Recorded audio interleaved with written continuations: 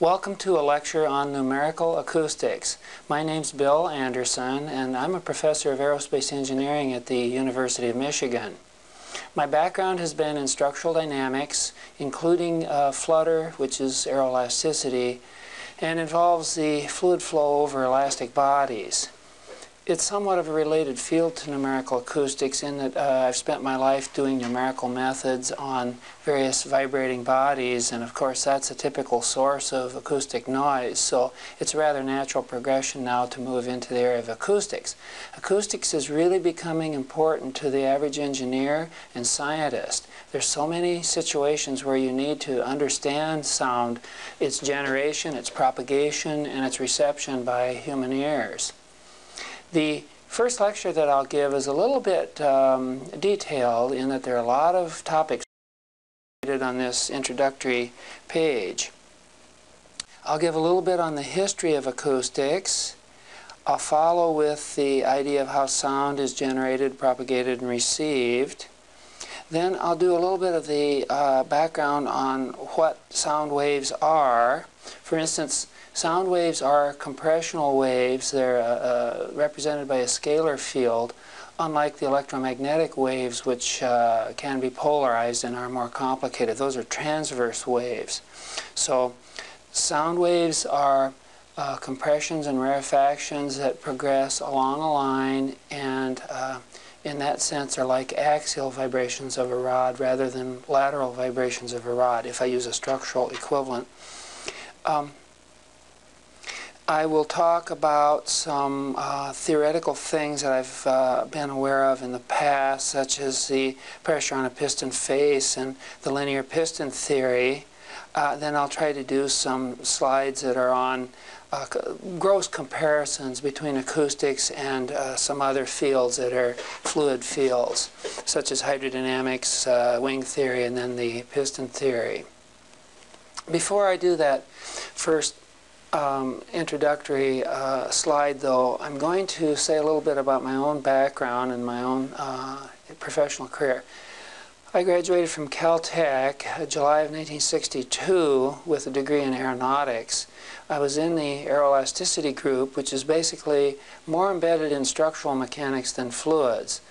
Um, typically, unsteady aerodynamics has been studied that way, surprisingly, in groups that are not the conventional fluid mechanics groups. From that standpoint, my fluids background is a little different and maybe a little more elementary than many fluids people uh, that would be viewing this set of uh, lectures. That might be good for you because I'm going to approach the material as a novice in, from the fluid standpoint and so hopefully can bring a wide variety of people up to some level of understanding on, on what the numerical acoustics means and the, the equations on which it's based. Um, I spent three years at Wright-Patterson Air Force Base in Ohio. Uh, worked on aeroelasticity, wind tunnel flow over wavy walls. Then I came to the University of Michigan in 1965 and I've been here since. So I'm currently completing my 30th year at the University of Michigan. About 12 years ago I founded a consulting company, Automated Analysis Corporation, and this has been the focus of my professional life recently in terms of consultation and uh, going into some new ventures. The multimedia discs that you are viewing here have been created under the sponsorship of Automated Analysis.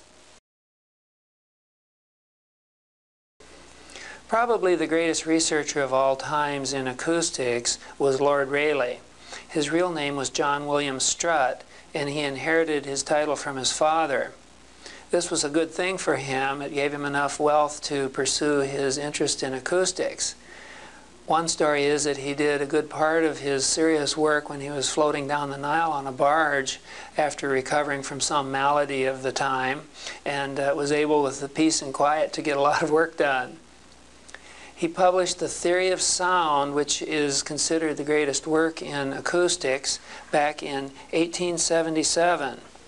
So it's a little bit humbling to see that so much of the uh, theory of acoustics was understood by someone uh, more than a century ago. Acoustics is basically divided into three physical phenomena. The first is the production of sound, And here I'm illustrating a solid body that is vibrating and sending out noise. This production of sound could equally well be done by instabilities in fluids, such as boundary layer noise or uh, instability in uh, turbulent jets. And that particular specialty area is called aeroacoustics. We won't really get into that much. Uh, rather, we're going to think of the production of sound as occurring off of typically a wall that is having a certain velocity or a known pressure distribution on a surface. The aeroacoustic problem could be considered here in the sense that if it could be converted into uh, a proper boundary condition for our field equation, then we can handle it. And, and that is possible in a number of cases. But the actual generation of sound within fluids by instabilities is a very, very difficult topic right now. Once a sound is generated either by a mechanical solid source or by some fluid um, oscillation, then it propagates through the open medium. The most typical media, of course, are air or water. The study that we do in our numerical acoustics is primarily then to look at the propagation of this sound as it moves in space and to observe how it interacts with boundaries and with obstacles um, at times we have closed cavities and we're interested in the normal modes of the closed cavities. The interaction at those walls and with bodies is important. Uh, an important um, concept there is the so-called impedance of the surface that it is uh, coming in contact with. And so there are sound absorbing surfaces, there are sound reflecting surfaces. Those are considered boundary conditions in our field problem. The field equation is now called the Helmholtz equation. Finally, this uh, sound is received by a human ear, and there's quite a physiological component here uh, in terms of what uh, the human perceives to be good noise, bad noise, and uh, friendly, unfriendly, and so on. This has to do with details of the frequency range, the intensity of the sound, uh, and the quality in, in sort of um, uh, physiological senses. So we still today are uh, learning what it means for the ear to receive sound and either be pleased or disappointed in it. Now let's look at the production of sound uh, as generally produced by solid bodies in this case. We'll concentrate on that rather than aeroacoustics. And I'll follow a historical introduction done in the theory of sound. Um, you can look that up. It's a very interesting uh, reading, and I'll give the reference on our title page. Pythagoras, back in the 6th century BC, understood that if you had a stretched string and you plucked it, that the shorter strings would give a higher pitch. And so um, probably at that time they didn't understand the concept of tension in the string also affecting things, and that was un uncovered later on. But certainly uh, Pythagoras got the right idea some um, 2,600 years ago. Mersenne, um, French uh, person, understood the frequencies of strings, including the effect of tension. And so this was some good, oh, 2200 years later. So people, people were probably playing musical instruments all during that time, lyres and, and uh, violins and so on, and, and we're just uh, barely able to understand the cause and effect. Now, I presume that the good violin makers really knew this in, instinctively and did the right thing, of course. But Mersenne found uh, a simple mathematical relation. Galileo who uh, has been known uh, for a number of things, celestial ob observations and so on, often stemming from his ability to make magnifying glasses, uh, used such an instrument to look at the effect on steel when someone had hammered a chisel. And uh, on that steel, and he heard this vibrating note and realize there was something musical about it. And you may have heard that yourself if you hear people uh, pounding on steel in one way or another, more than the ring of the blacksmith's hammer. But if the but if the blacksmith has a chisel, you get a kind of a clear ringing note.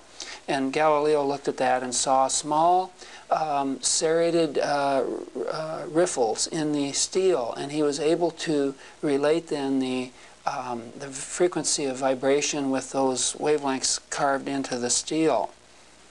I think in modern times something like the squeal of brakes on a, on a heavy bus going by might be a comparable modern phenomenon. Bernoulli, 1755, understood how sound was a superposition of uh, small oscillations at different frequencies.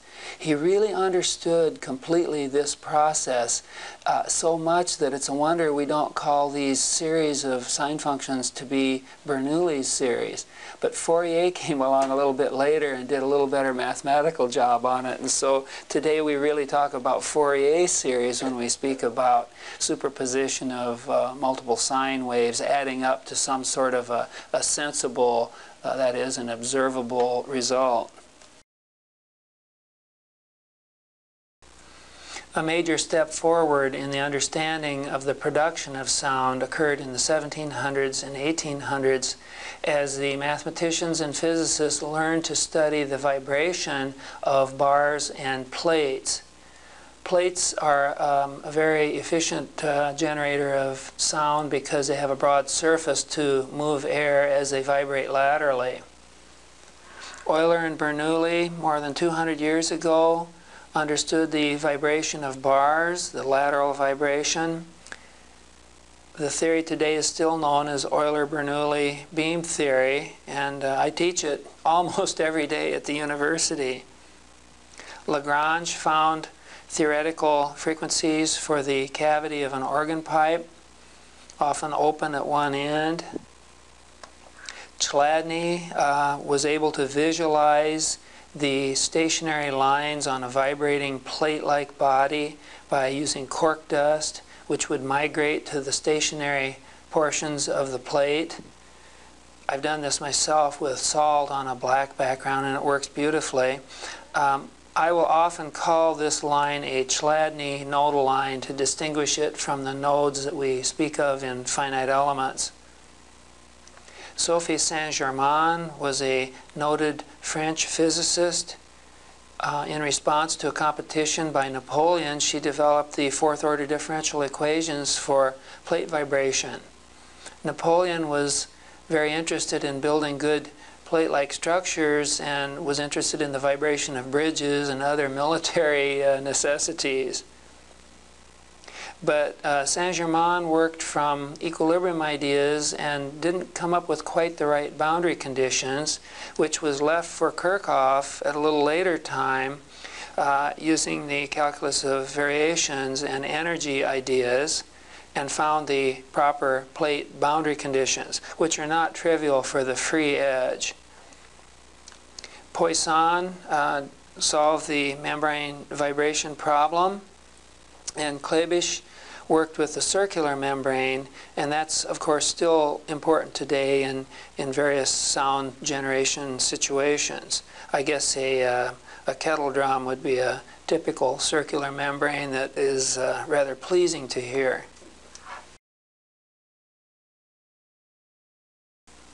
Let's now look at the propagation of sound. This is our major topic of interest in this lecture series. If we go back historically to the days of Aristotle, it was thought that the air had to move in order to uh, allow the sound to travel from a sender to a receiver. Gassendi in 1635 uh, decided that this was true as well that, and proposed that there was a fine stream of particles that had to move through the air in order to hear it. Um, that was not true, of course, but in modern times we can't be too critical because it turns out that is the way that light travels through small packets of energy called photons that really do go from the light source to the light receiver. Gassendi did correctly realize, though, that the speed of sound was not a function of the tone, that is, the frequency of sound. Early experiments had to do with shooting of cannons and flashing lights and measuring the travel of sound over relatively large distances so that the inaccuracies in their measuring equipment didn't dominate the resulting speed. They got a value of 350 meters per second, which is not that far off from modern values used, such as 343 meters per second at room temperature. Boyle in 1660 uh, observed that the medium, say air, was necessary to transport the sound, and he did it by putting an alarm clock in a vacuum bell. Then he evacuated the air from the bell and let the alarm clock ring. He had a false start on this apparently where at first he had the alarm clock sitting on the bottom of the vacuum bell and the sound was still heard through the structural path. Then later he realized he had to isolate the alarm clock and get it up in the air on, on suitable foam or whatever. And then he found indeed the alarm clock couldn't be heard. So that was quite a step forward. Von Guericke, 1686, doubted that the air had to move uh, in the large as a stream of air. And so he was on the right track.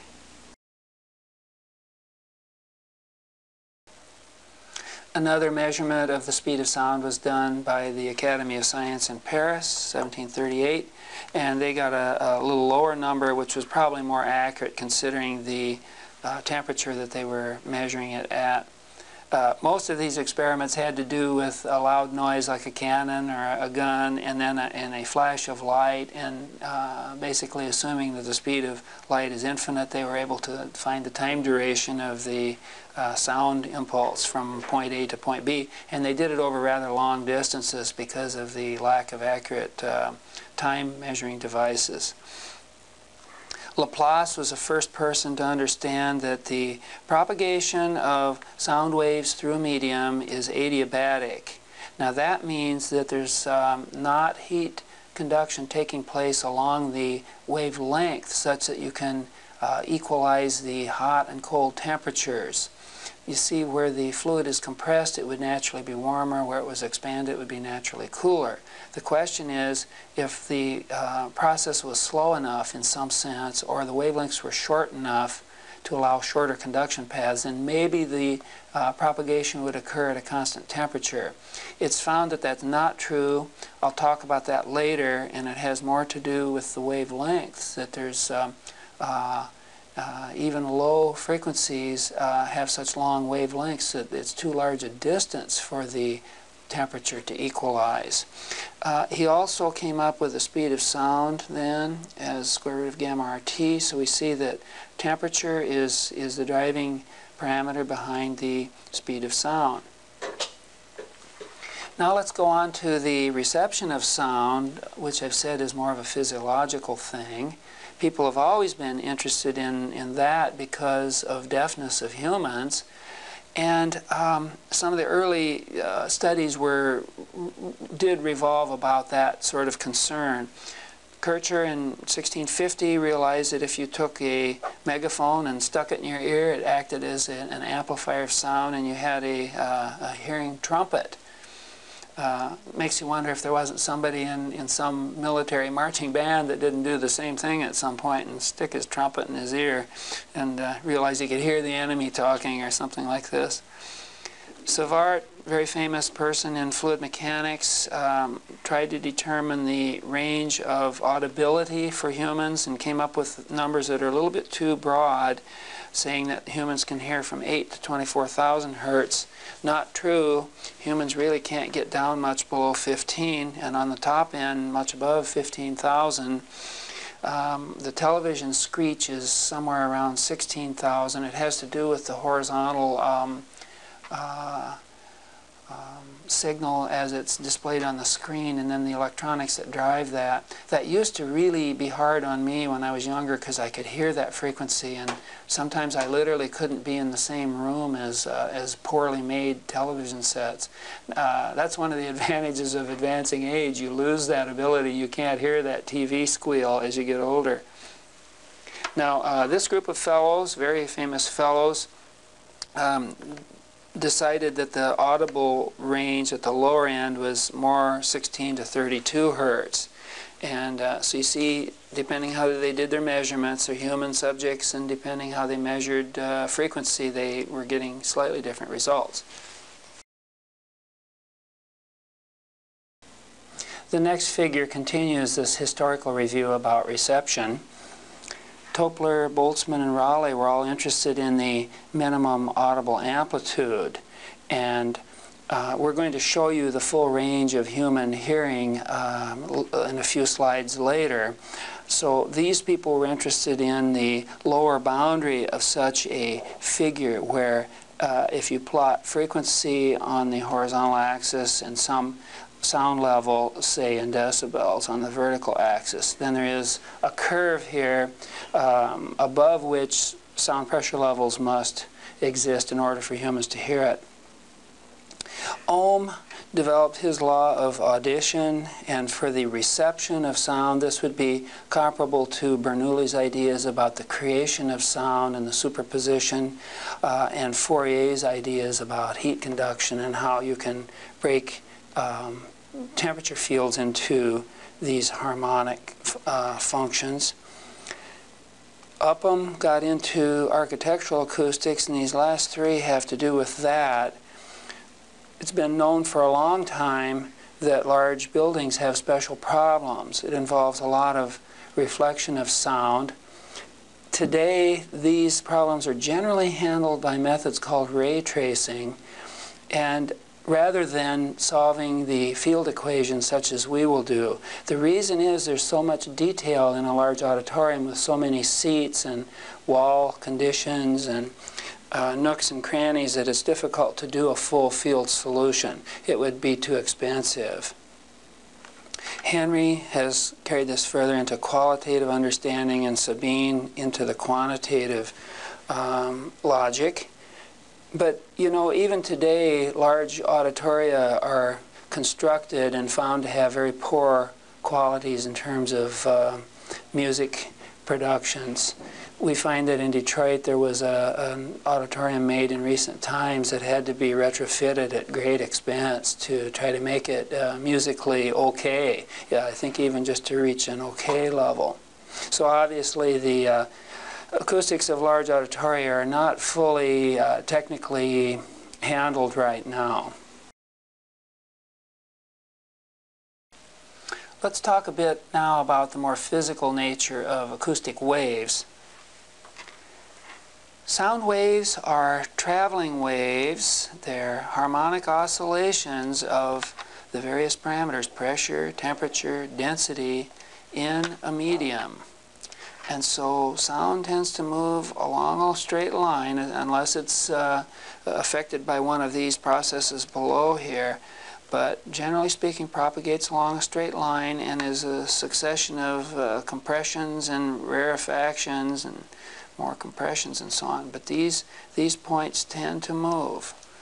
And there is a, a wave velocity that's associated with that uh, pressure disturbance. Often pressure is viewed as the driving uh, quantity. In fact, we're going to find in our field equations ultimately that you generally try to eliminate temperature and density variations in terms of pressure. So if you do use what are sometimes called primitive variables, the true physical variables, rather than potential functions and so on, you find that pressure is usually the variable that's used to characterize the sound field. Now, you probably have a, a feeling for reflection off of a wall. If it were a perfectly reflecting hard wall, then you'd get the energy bounce back again. At the other uh, extreme, you have absorption, and that would be where a sound wave in principle might come into a wall and not be reflected at all. So that would be a perfect absorber. Then these intermediate terms have to do with uh, interaction between a wave and a body, or in the case of interference, you've got, inter uh, you've got the interaction between two waves. Um, I won't go into these in detail. I think I would refer you to the book by uh, Leo Beranek, and I'll give a, um, uh, on the title page, I'll give that as a uh, reference. One thing that's kind of uh, interesting is that the sound waves can't be polarized. You know how that's done with light waves. Uh, for instance, when you wear polarized glasses at the beach, you want to have a vertical plane of uh, polarization so that you don't get the horizontal waves coming through. And Sound cannot be polarized in that way. Sound is a, uh, a compressional wave and not a, a, lateral wave. But of course, various electromagnetic waves, uh, not only uh, light, but um, other such waves, microwaves, and so on, are uh, polarizable. I'd like to make some comments about uh, some of the practical side of sound and how you might measure the intensity of sound.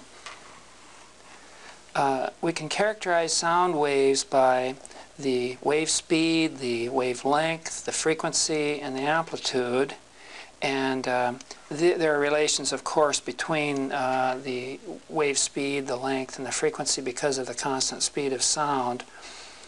The uh, amplitude is a very important measure. This would be could be measured typically as a pressure amplitude, and there are a number of different uh, ways to measure it and interpret the uh, sound level.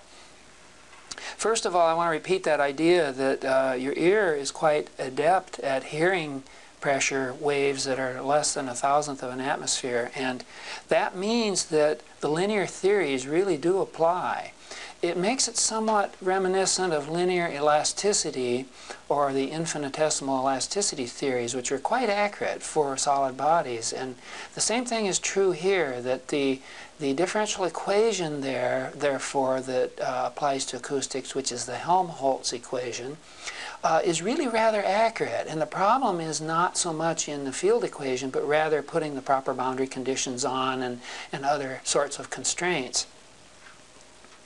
Now I'll go through some of the ways that we can measure the sound amplitude on the following slides. One of the most commonly used measurements for sound intensity is the sound pressure level. This is a logarithmic ratio of pressures and uh, has the 20 out front and the log to the base 10 is used. The reference pressure is quite small. Indeed, for air, it's only 20 micropascals. Pierce mentions in his book that in liquids it's common to use 1 micropascal as the reference pressure. The range of audibility for humans is really broad. It's something that's um, uh, astounding, in fact, and that's what requires this logarithmic scale. Humans uh, audibility range goes from 0 decibels up to 130 or so where it becomes painful. The pressures involved, therefore, range from the reference pressure, where the logarithm is 0, of 20 micropascals, up to the 130 decibel level, where I've calculated that that is less than a thousandth of an atmosphere in terms of the RMS oscillating pressure. So isn't it interesting that your ear is so sensitive that it can hear um, uh, noises that are a thousandth or a millionth of an atmosphere uh, oscillating. And even when you get up to a thousandth, then you're um, overloading the system badly. So sound certainly is a linear process in that sense. Uh, it's a very small perturbation on a rather large mean value of pressure. Um, sound intensity is another way to look at uh, the sound in terms of a uh, energy basis. And this has to do with the rate at which sound is transmitted through a unit area. Um, and it's given in this form.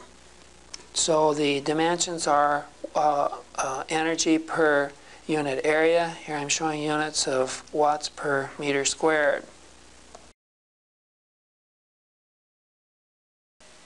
So I'll continue on the next figure on more uh, measures of sound uh, level. This sound energy density we'll call D, and that's the energy per unit volume of a medium and again can be expressed in terms of pressure uh, and the ratio of specific heats here. For a diatomic gas, which air is largely, 1.4 is the proper value. I guess that's because both nitrogen and, um, and oxygen are diatomic, O2 and N2. Another idea is the total radiated power. Sometimes you uh, take a noise source and put it in a room that's a reverberant room, uh, which has entirely hard walls, and then you find that that noise tends to fill this space, and so it's kind of interesting then to see, get some measure of what the total radiated power can be. Let's consider now the audibility limits for human hearing. This is rather concisely uh, shown on a single figure. At the lower end, we find that humans are finely tuned to hear frequency ranges in the range of the human speaking uh, tones. So you get this very, very sensitive region where sounds even of zero decibels are uh, possible to be heard. It cuts out at around 15 or 16,000 hertz here, and uh, that is an interesting high end showing that you don't need uh, protection, particularly against higher frequencies. At the low end, we've shown before that there are uh, various measured limits on audibility of, of uh, 15 to, to 20 hertz, and you can imagine then, depending on the individual that was being tested, that that number would vary. At the upper end, you have the threshold of feeling, um, wanders somewhere around 120 decibels. The beginning of pain is somewhere around 130 and certainly very painful at 140 decibels. There's a sketch curve here suggesting that you need protection if you have long-term exposure in these frequency ranges, so various industrial processes might need that. For instance, there is a um, case where you have jackhammers, which might be, uh, let's say, 100 decibel range, so people operating jackhammers probably should be wearing hearing uh, protection. Rock concerts can get as high as 120 decibels, so they they also look like a bad idea. Metal stamping plants can be as high as 90 decibels, and if you've ever been in a sheet metal stamping plant, you know how pervasive that noise really is. It's hard to concentrate or do any thinking in that much noise. Vacuum cleaners are around 80 decibels, busy traffic at 70, quiet restaurant perhaps at 50, rustling of leaves maybe at 20, and human breathing could be uh, down as much as uh, 10 decibels at 3 meters. I have a friend, Joe Isley, who as a young person drove a tractor a lot, and he developed a notch in his hearing ability where he couldn't hear noises over a certain range. He says now that he has trouble when he attends Shakespearean plays because he's missing some of the uh, hissing sounds, the S's as in forsooth. And uh, so that's kind of an interesting concept that if you ride a tractor a lot when you're a young person, then you don't enjoy Shakespearean plays when you're a little older.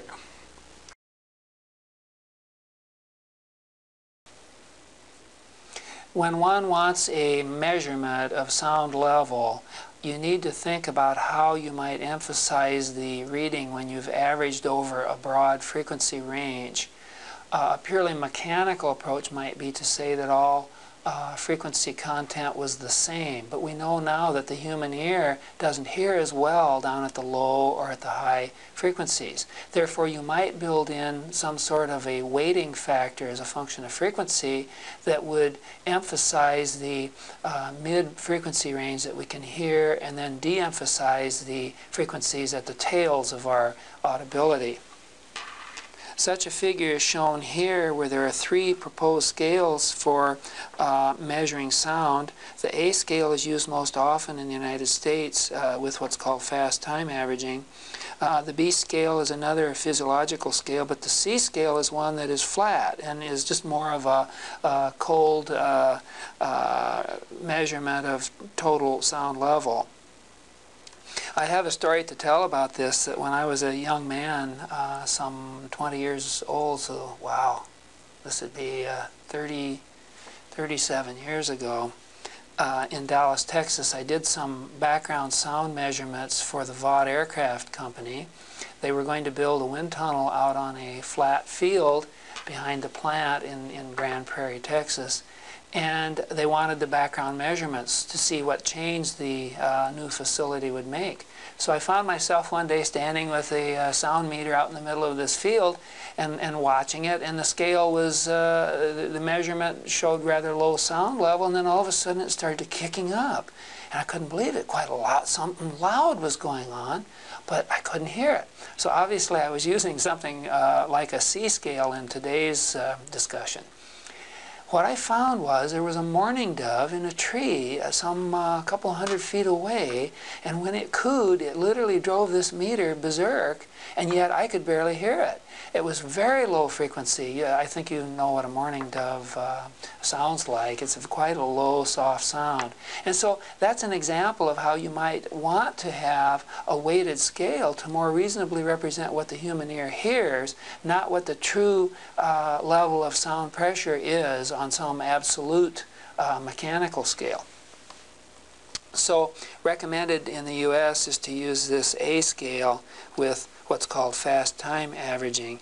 And as you can see, basically, you're, you're um, penalizing the measured sound over most of this range with as much as uh, minus 38 decibels or so, up to where you reach actually a little overshoot and you're enhancing the sound reading in this mid-frequency range. In solving practical acoustics problems, we need the concept of impedance. There are several definitions for it. Some of them are more appropriate for a discrete circuit where you might have sound being piped around in, in tubes and out horns and things like that. One of the versions is more important for solving field equations such as we're interested in. In general, uh, impedance is a measure of the resistance the fluid offers against uh, an imposed velocity. So it's a measure of how the fluid does not like to be pushed around. The ASA impedance is a ratio of pressure to volume flow, and that's appropriate for acoustic circuits. And uh, typical units used are these. The specific impedance is the one that we're mostly interested in, and the ratio of pressure to velocity at a point. The specific impedance is often used to characterize the uh, acoustic treatment on a wall where you may have uh, incoming sound being uh, handled and causing pressures in a certain phase relation at a wall, which might be a partial absorber um, or have other characteristics. Usually the impedance is a complex number in that case. Mechanical impedance, uh, again, possibly used more for circuits, is the ratio of force on some specified area to velocity and again useful maybe for mechanical devices. The specific impedance is our um, favorite impedance and one way to use it is to characterize the fluid going out to infinity and people talk about far field impedance. Sometimes if you do a finite mesh of a uh, given situation, perhaps you have a body radiating sound and you'd like to terminate the mesh at some radius away from the body, you'd, you'd be uh, you'd like to terminate the mesh and have the mesh look into the far field with a proper impedance match. That's not done a lot in acoustics. It has been done more in electromagnetics, and I got into a uh, dissertation uh, position once as an advisor where we did that, and questions of matching your finite field uh, mesh to the far field really were quite important to avoid reflections and so on. So I guess there are those different usages of the uh, impedance, both uh, at a wall, in our case, uh, characterizing something rather local, and then trying to match to infinity something called a far field impedance. We'll consider the impedances in more detail now and start with the ASA impedance. It has the definition of pressure over a cross-sectional area and then a velocity. Now both the pressure and the velocity are oscillatory, of course. This turns out to be useful for branch circuits that are consisting of tubes, say, where you're piping sound around in a, in a system. And it turns out to be useful because you can handle these impedances uh, in a way uh, in branch circuits that makes sense consider this hypothetical case where you have a tube of a given area on the left and then it branches into two tubes, each of half the area on the right.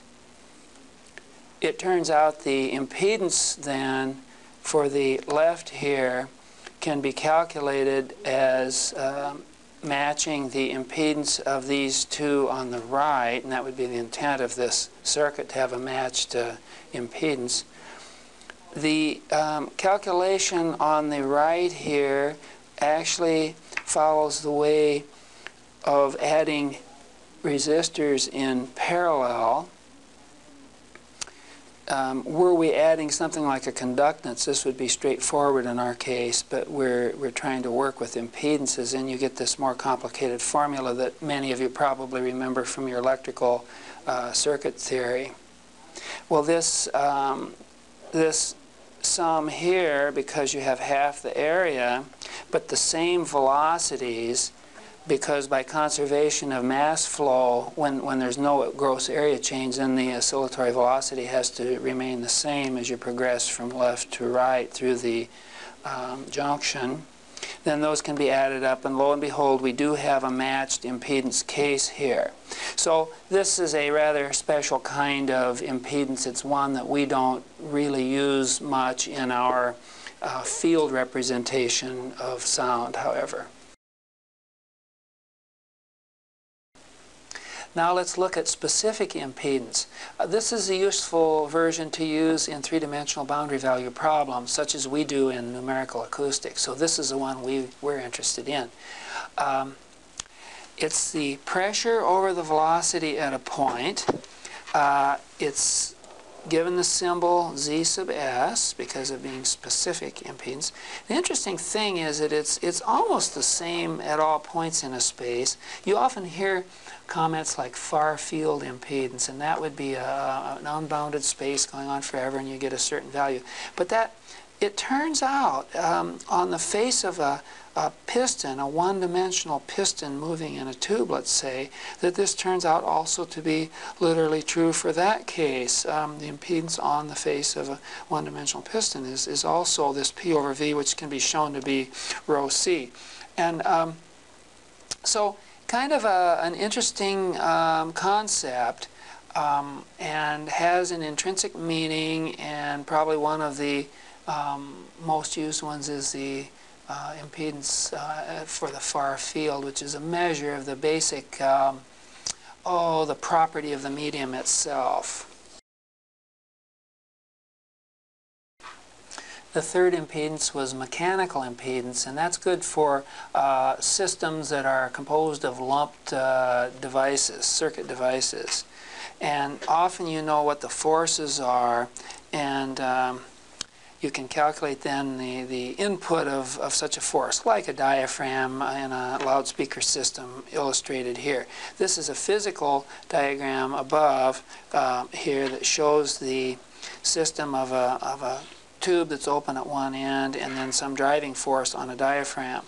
Uh, you might think of the, the driving force itself as being external to the diaphragm and then some sort of mechanical impedance due to the diaphragm itself, which could have the capacitive, inductive, and resistive components. And then the far field uh, out here will be felt, uh, well, probably if you model right to the uh, mouth here, you're going to come up with an air load impedance, and that would probably have some end correction for if it were placed right there um, in terms of the uh, shape of the mouth here and whether this had some kind of a rolled edge or whatever. So in this case, we're showing a series uh, impedance idea of the uh, mechanical uh, aspects of the diaphragm and then the um, fluid uh, aspects of the air load out here. This time they're adding as if in series. A very important concept in acoustics is that of the pressure on a face of a piston that's moving into the medium. We'd like to look at the one-dimensional example of this, and you can reach that with two limiting cases. One is a very big piston that's moving the entire half space of the uh, fluid medium ahead of it. Uh, or you could take the second case would be a small piston filling a tube, and that's what I illustrate in this next figure. Here you have a piston being driven in the left end of this tube. The air or whatever fluid medium is, is being compressed and expanded and so on uh, in the uh, length of the tube. The relevant equation is the wave equation shown here. I'm going to fully derive that later, but presently I'm just going to take about five figures and show how you can characterize the pressure on the face of the piston. And that's very useful later on as a reference pressure for uh, limiting case for a number of different theories. It turns out it's fairly valid for higher frequencies, even on three-dimensional bodies, and, and it's a rough cut at a lot of different pressures that you might later want to calculate.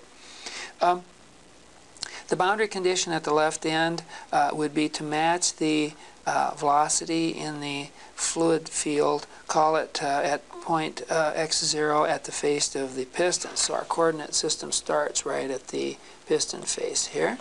That's going to be our x coordinate. And then we'll give it the symbol V0 to stand for the time dependence of the piston motion itself in the x direction. Before we calculate the pressure on the piston face, I'll have to go through some mathematical details. This is a little painful, I know. Uh, just see what we can uh, get out of this. Often you'll see a function of a variable where the variable is complex, maybe even related to further variables. If you use the tick mark like that, it's basically a total derivative that uh, you have to take the derivative of the function with respect to whatever lays inside it. Um, that'll come up in a minute. Uh, we also need to know partial derivatives where you're taking a partial derivative with respect to one of the variables occurring in the interior of that function and that's a chain rule idea where you first take the uh, this total derivative with respect to the total variable and then you do the partial derivative of the argument with respect to the specific variable you're interested in that um, uh, in this case, the quantity up front here is recognizable as what we mean by f prime and the quantity here is recognizable as just unity because the derivative of x minus c t by dx is just going to be 1. So you come out with this answer. On the other hand, if you want the partial derivative on time, then you'll get this same total derivative here, which we identify as f prime, but then the partial on the time portion of this argument comes out to be a minus c, and so we get just a slight correction now. Now let's get the solution to our pressure on the piston face. I'm going to propose that the wave equation has pressure form of solution shown here, that there's a right traveling wave and a left traveling wave possibly uh, emitted by that piston. uh, these F and G uh, symbols mean arbitrary functions at this point of those time and space variables. But we're only going to consider the disturbance propagating away from the piston face to the right, and that's called the radiation condition. I'm not interested in what goes on at the left, uh, nor incoming waves from infinity. And so, uh, you know, that means we're not interested in reflections from the far end of that uh, little tube. So our pressure field is going to look like this by assumption. Now, we can put that um, assumed uh, form into the momentum balance, and we'll talk about this in more detail later, but here's an equation that shows basically how the, the gradient of the pressure field will cause a change in momentum. So you get the density and then something like acceleration here you see. So we put this in, and we end up then um, with a derivative on x is the same as the prime or the total derivative here uh, with respect to the entire argument. The left side here is unchanged. Now let's evaluate this expression at the face of the piston. This is at the point x equals 0. And we now say that the velocity here is the velocity of the moving piston. It could be a function of time. The argument has reduced to minus ct. If I want to replace that derivative with a partial, I have to remember the chain rule that we had worked with before, and that coughs out this uh, constant in the front, giving us a partial on time here. I view this as a little bit of a trick, so if some of you are puzzled by this, I can see why. Now here you've got a uh, situation where there are two terms uh, involved with derivative on time only. Now we can integrate with respect to time. In general, that would bring in an arbitrary function of space then as a uh, constant of integration, but we're not interested in uh, steady um, pressure fields in space, and so we won't worry about that. Uh, this actually is enough to give you the form of the um, function f of minus ct in terms of the density of the fluid, the velocity, and the speed of sound.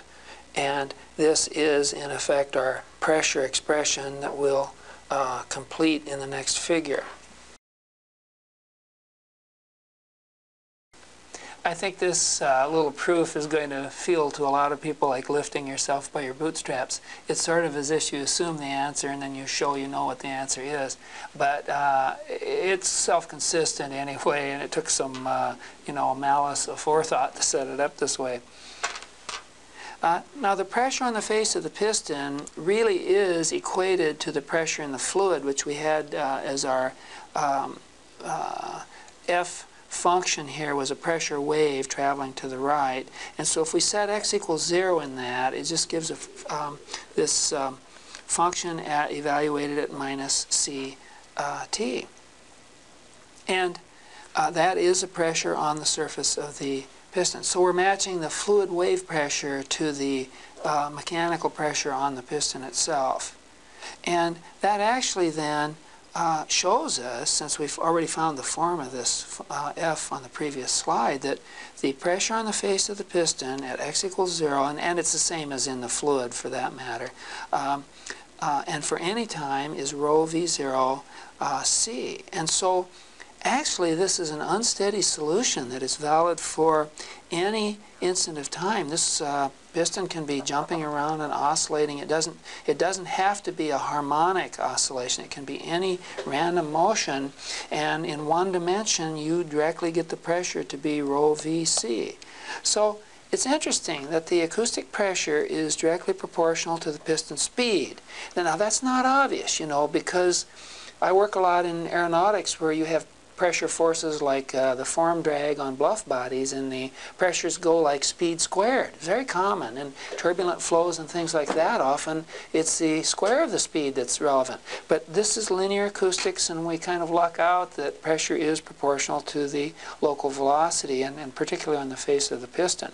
Uh, the speed of sound enters and here we have the density entering. So uh, the medium itself has some effect and as you might imagine the heavier the fluid uh, or the more massive per unit volume, the, the more pressure you get.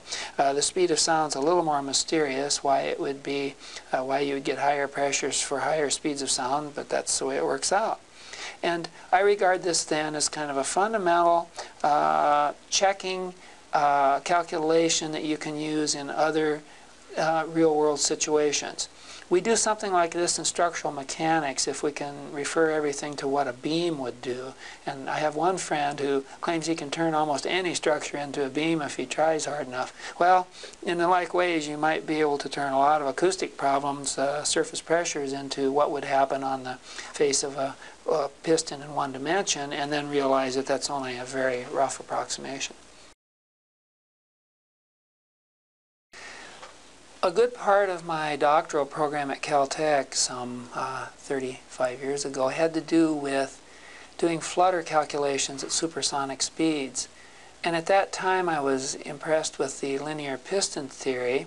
I knew that it had acoustic origins um, and we understood how the flow going over a wavy wall uh, acted in, in a, a similar manner to, manner to a piston moving up and down in a small tube. So I was impressed by that, and I thought maybe there are other fluid mechanics people who would like to be reminded about how linear piston theory works supersonically. Even though it's not an acoustic problem per se, it's an analogy, but it's kind of a one that you can get for free with only a couple slides here. So we're now talking not about quiescent air, but rather air that's moving reference to a solid body. And if the body has shallow undulations, and there's a, a dominant mean flow here, uh, capital V, then when the wall moves away from the dominant fluid field, uh, you get the flow turning downward and much as if a piston is being pulled away from the flow. In other words, the sense of the, um, uh, the fluid flow is, hey, the, there's a piston there moving downward.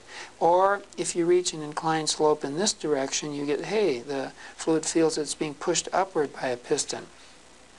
In addition, there can be the unsteady motion of the wall itself, which would add indirectly. So uh, this slope-like condition, and you can figure this out in a few minutes if you look at it, involves a vertical contribution of the flow velocity turned through the tangent of the angle, which is the uh, slope here, dw dx, where w is the uh, position of that solid boundary, dividing fluid from solid. And then the unsteady part here would be how the wall itself will have moved in, in time as a particle of fluid goes from this point on to this one, the wall has moved upwards, and so really the particle sees this final um, direction of flow, which involves both the steady and the unsteady components.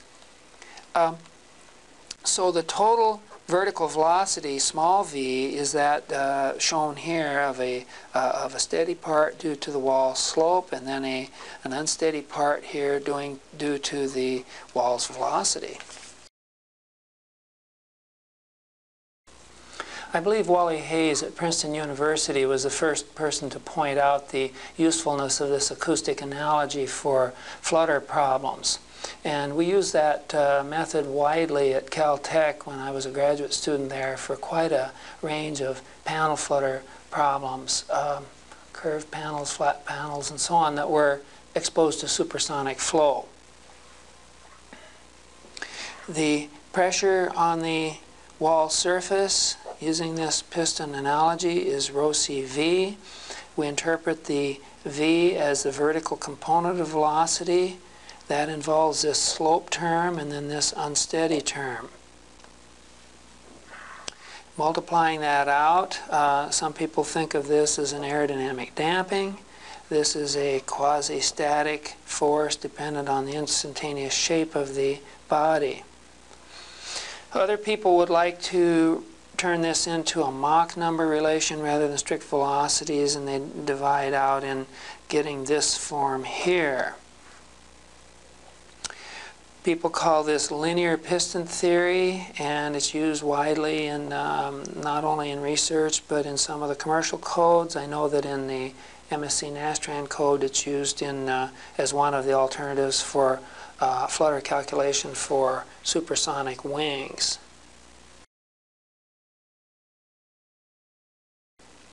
One thing that I often like to do is to compare different theories, if you can do that, put them on the same basis and see what they say about a similar simple physical situation.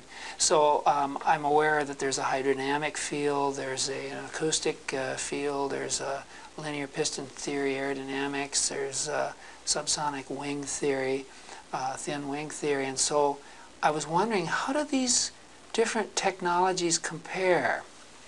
So I, I, wondered if you took a small disk such as this one, and of course acoustics would be uh, air at rest or another medium at rest, but then uh, if this body from the side looked like a slender wing, this disk, but was uh, suspended, let's say, on a spring in a damper and, uh, and uh, might have some mass, it might have some um, might have some so-called added mass due to the fluid going by or being around it, then then it's a it's a kind of a case that you could compare acoustics, hydrodynamics, uh, linear piston theory, and uh, subsonic wing theory. So I'm going to do that in the next couple figures. Now the question is whether the medium surrounding that disk will provide added mass, added damping, and added stiffness. And that is, these are fluid contributed uh, causes to this uh, motion of this small disk. You can write the differential equation of motion as shown here, and the lowercase m, c, and k matrices are the mechanical physical stiffnesses that you or I would immediately see from the springs and so on. But the um, uppercase matrices M, C, and K are those contributions from the fluid. So an immediate question is, do you get these at all in a given fluid theory? But secondly, do they depend on frequency or velocity? And uh, I'm trying to set up a small table here to illustrate this. Now, hydrodynamics, which you might call the, the father of all the fluid theories, uh, assumes that the speed of sound is infinite. And this C now is not the damping coefficient that I've used up above. It's not a matrix. It's just a scalar. Uh, you also assume that there's no fluid flow, that the fluid is stationary in our, in our particular problem here. I'm interested in just the uh, quiescent hydrodynamics here. And it turns out you do indeed get an added mass. That's been calculated by many people. You can look in Lamb's books and so on. And often it's done by looking at the kinetic energy of the entire fluid field out to infinity and then finding uh, some kind of an effective mass of the fluid itself. But there is no damping matrix nor stiffness involved in hydrodynamic theory. Uh, and that means even when the body is doing these small oscillations. Now this is a um, uh, currently just a little flat disk. Now in acoustics, you um, assume again that we have quiescent fluid, that it's at zero velocity, and you do get um, a mass that de depends on frequency in this case. Uh, there's no need yet anyway to assume that speed of sound is infinite, so, so your frequency plays a role. There's a kind of damping called radiation damping, which means that for an unbounded region and with no reflection then of the outgoing waves, your energy can be carried away. So it's a special kind of damping. And you can get a stiffness associated to the uh, medium, and it depends on frequency. So this is a rather rich problem, it turns out.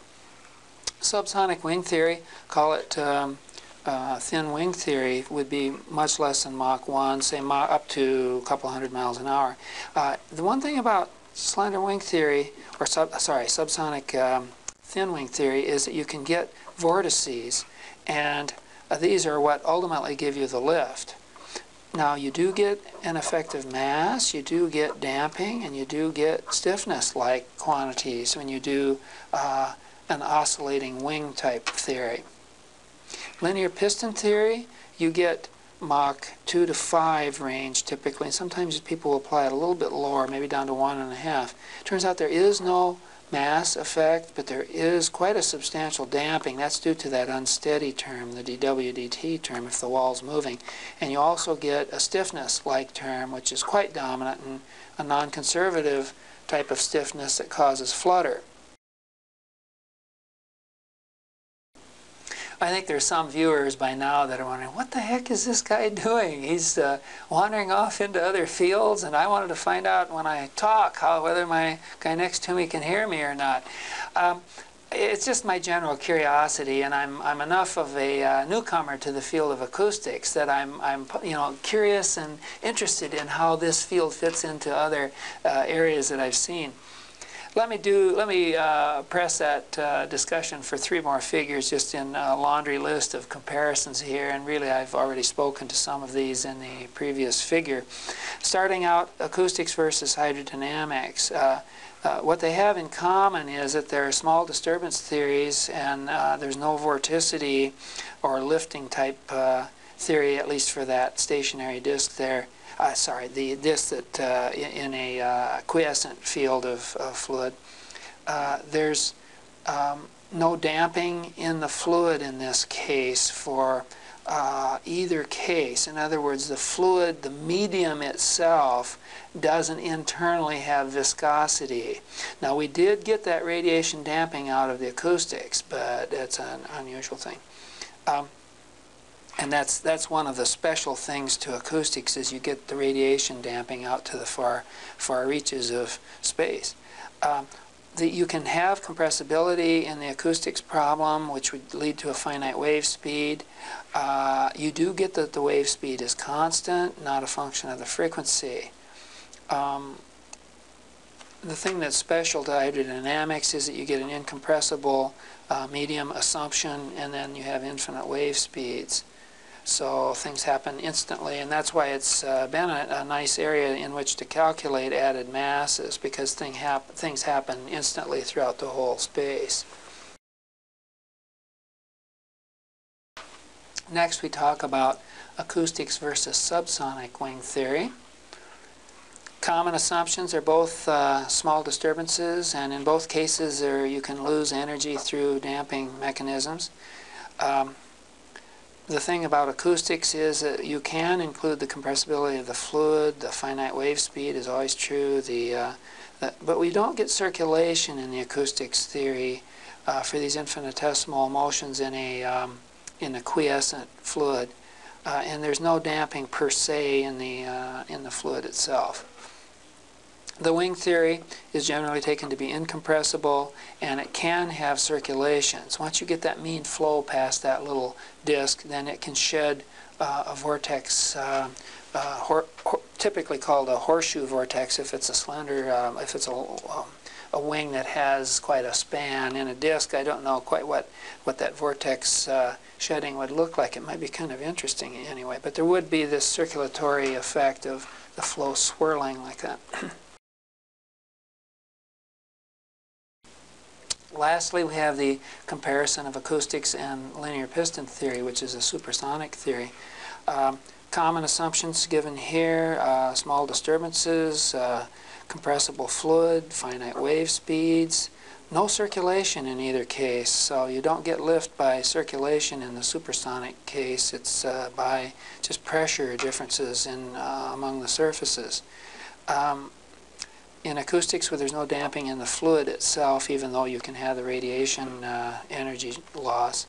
Uh, in piston theory, you have very localized effects, and there's no time delay. One thing about piston theory is the way that flow sweeps past a, a wavy wall is that uh, it only feels locally the pressure of that piston. So you've got a bunch of one-dimensional problems going in a vertical sense as we drew the wavy wall. And um, and there's no time delays. You don't get uh, buildup of vortices and so on that uh, can affect what's going on upstream as you can in subsonic theories. So uh, it's kind of interesting to look at these different cases and don't let them uh, confuse you. It's, it's, these aren't uh, really important for acoustics except that you may also have seen some of these other fluid mechanics areas and, and wondered if there was any relation with acoustics. Now from this point on we're going to go into uh, more of the theory of numerical acoustics and um, we'll start out with a lot of classical ideas in the second lecture and then go on into the different uh, boundary elements and finite element versions.